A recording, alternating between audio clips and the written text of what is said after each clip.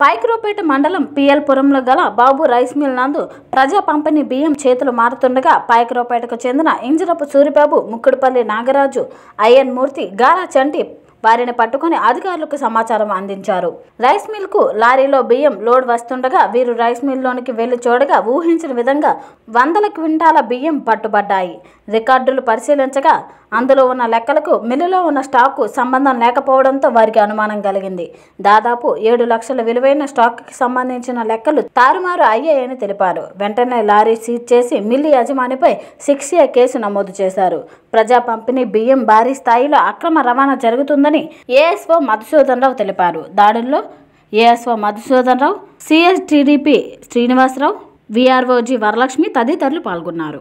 ఇప్పుడు ఇప్పుడు నూకరాజు సూరిబాబు అనే ఇద్దరు వ్యక్తులు వచ్చి ఫోన్ ద్వారా ఇక్కడ పాయకరాపేటలో మండలంలోని నామవరం దగ్గర ఉండే బాబు ఫుడ్స్లో పీడిఎస్ బ్యాగ్ అన్లోడ్ అవుతుందని చెప్తే దాని మీద నేను మా డీటీలు Akkapalli DT next Yelamanchili DT గారి కల్లో ఇక్కడ ఇన్స్పెక్షన్ చేసినప్పటికీ ఇక్కడ మిల్లు లోపల రెండు వందల ఎనభై మూడు బ్యాగ్స్ మిల్లు బయట రెండు వందల ఇరవై ఆరు బ్యాగ్స్తో పీడిఎస్ రైస్ ఉన్నట్టు గుర్తించామండి వీటి బట్టి చూస్తే మిల్లులోని మొత్తం నూట నలభై ఒకటి పాయింట్ ఐదు క్వింటాల్స్ బయట నూట పదమూడు క్వింటాల్స్ పీడిఎస్ బియ్యం ఉంది.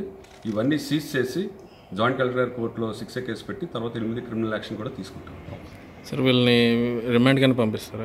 కేసులు యాక్షన్ ఉంటుంది తర్వాత దాని మీద ఫర్దర్గా పోలీస్ ఎంక్వైరీ ఇవన్నీ ఉంటుంది ఏ సెక్షన్ కింద సెవెన్ ఏ. సెవెన్ అండి. ఓకే సార్ ఇది అసలు ఈ పాయింట్స్కి ఇలా రైస్ ఎలా చేరుతుందండి? ఇది ఆటో ద్వారా వచ్చింది అని చెప్పేసి వాళ్ళ సమాచారం మేరకు దాని మీద వెంటనే వచ్చింది లారీ కూడా లోకల్ ప్రిన్సెస్లో ఉంది కాబట్టి లారీ కూడా సీజ్ చేస్తుంది ఈ మిల్లర్స్ పర్చేస్ చేస్తే మళ్ళీ వాళ్ళు ఏం చేస్తున్నారండి ఇది? మిల్లర్స్. మిల్లర్స్ ఇది పర్చేస్ చేసి వాళ్ళు ఎలా సేల్ చేస్తున్నారండి? వీళ్ళైతే వీళ్ళేమో లెవీ కానీ ఏమి ఇవ్వట్లేదండి వీళ్ళు. వీళ్ళు ప్యాకింగ్ చేసి ప్యాకింగ్లో వీళ్ళు బయట సప్లై చేస్తున్నారు వీళ్ళు. దాని మరి దీని మీద సిఎంఆర్ మిల్లర్ అయితే కాదు వీళ్ళు. వీళ్ళు సిఎంఆర్ అయితే లేదు వీళ్ళకి. గవర్నమెంట్ దీని మీద ఏం యాక్షన్ తీసుకోమని? తప్పకుండా క్రిమినల్ యాక్షన్ ఉంటుందండి వీళ్ళ మీద. దీ ప్రికాషన్స్ ఏం తీసుకోవాలి? ఇలాంటి చర్యలు జరగకుండా మళ్ళీ? ఇలాంటి జరిగి తీసుకుంటే క్రిమినల్ యాక్షన్ తీసుకుంటే కానీ డెఫినెట్గా ఇలాంటివన్నీ ఆగేటట్టు ప్రయత్నిస్తాం తప్పకుండా.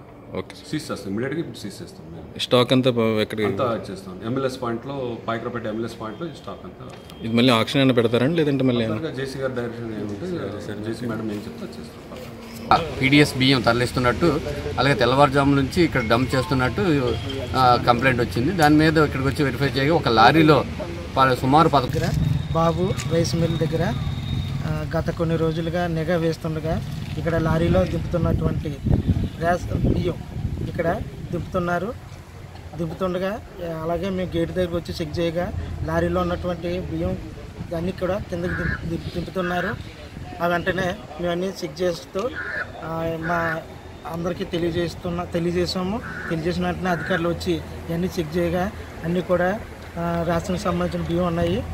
ఆ వెంటనే అవన్నీ చెక్ చేయగా మినిమం ఐదు వందల తొమ్మిది బస్తాలు అలాగే ప్రతి బస్తా యాభై కేజీలు బియ్యం ఉండగా ఐదు వందల తొమ్మిది బస్తాలు బియ్యం రేషన్ డిపో బియ్యం దొరికాయి. వెంటనే విలేకరులకి అధికారులు స్పందించ విలేకరులు తెలియజేయగా వాళ్ళు వచ్చి వెంటనే దీని మీద చర్యలు తీసుకుంటున్నారు. అధికారులు వెంటనే మేము తెలియజేసినటువంటి మ్యా సంబంధించిన మ్యాటర్కి వచ్చి ఇక్కడ ఉన్నటువంటి లారీని ఇక్కడ ఉన్నటువంటి మిల్లుని కూడా సీజ్ చేసి ఇక్కడ ఉన్న సరుకుని ఆ, పైకి పంపిస్తున్నారు. దీని మీద చర్యలు తీసుకొని కేసు నమోదు చేస్తున్నారు.